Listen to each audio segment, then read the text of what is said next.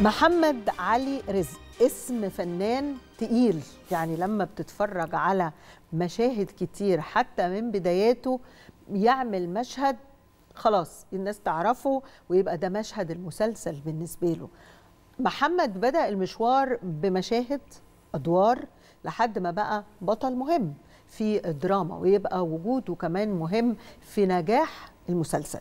قدر يوصل لقلب المشاهد بسهولة جدا بساطة خبرة آه، معايشة للشارع أفكار. عايز أعرف الخلطة بتاعت محمد علي رزق طلعت منين؟ وعلشان كده جبناه في التاسعة.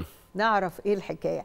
الفنان التقيل زي ما بقول محمد علي رزق في التاسعة. مساء الخير. مساء النور وشكرا على الريبورتاج الحلو وعلى التقديمه الحلوة دي. أنت بجد عندك خلطة. يعني تخطف الأنظار من البداية. يمكن الناس مش عارفة إنك غاوي وهاوي وكمان متعلم للفن. يعني كل الخطوات عملتها عشان توصل للخلطة دي. أنا ال- ال- الفن بالنسبة لي ليه علاقة بطفولتي. أنا من زمان جدا وأنا مرتبط بال بال بالتلفزيون. بحب أتفرج على الأفلام بحب أتفرج على المسلسلات. مش زي إخواتي مثلا. أنا كنت أقعد أتفرج وبقوم حافظ المشاهد. آه. وأقعد أمثلها. كان يعني من صغري موضوع قدام المراية بقى وشغال. ومع اخواتي و... إيه أكتر المشاهد اللي كنت حافظها؟ والله أنا مرة مرة عورت اخويا. آه و- ده, ده انت بت آه ب- بتتقمص بمثل جداً. بقى بمثل. يعني كنت بعمل كوارث. آه. أنا كنت بعمل كوارث وأنا طفل. ل... وكانت مامتي مدرسة في نفس المدرسة اللي أنا فيها. آه. فزميلاتها قالوا لها دخليه فرقة المسرح بتاعة المدرسة. عشان يهدى شوية يطلع بقى الطاقة آه بدل ما بيطلع يعني. طاقته في اخواته يطلعها في المسرح المدرسة مين الفنان اللي كان بيلفت انتباهك في السنة ال- العمرية دي؟ اتنين. مين؟ آه أستاذ عادل إمام. طبعا.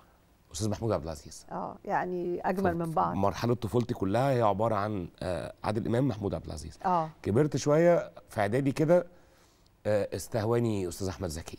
آه. ده رحت معاه أيوة. حبة حلوين. وفضلت على الحال ده أنا مرتبط بالفن وأنا مش فاهم ان أنا مرتبط بيه. بس, بس انت أنا بحبه. على عتاولة يعني. آه يعني أنا بحبه وخل... يعني بحبه وخلاص بس طبعا. مش فاهم. إلى أن جت الصدفة في ثانوي جه سكن جنبنا ممثلة. فقالت لي أنت تمثل. فنزلت عملت كاستنج وبدأت أمثل من ثالثه ثانوي في صوت القاهرة قطاع الأطفال. وهناك قابلت دكتور خليل مرسي رحمة الله عليه وقال لي على أداب مسرح حلوان فروحت درست في أداب مسرح حلوان. فبدأت خط الدراسة بقى. آه. الجد بقى يعني. الجد بقى آه. درست في أداب مسرح وقدمت في مركز الإبداع الفني عند أستاذ خالد جلال ودخلت الورشة عند أستاذ خالد ربنا كرمني ودخلتها وعملنا قهوة سادة ومن هنا بقى كانت. طبعا قهوة سادة كانت ملفتة البداية لكل الحقيقية.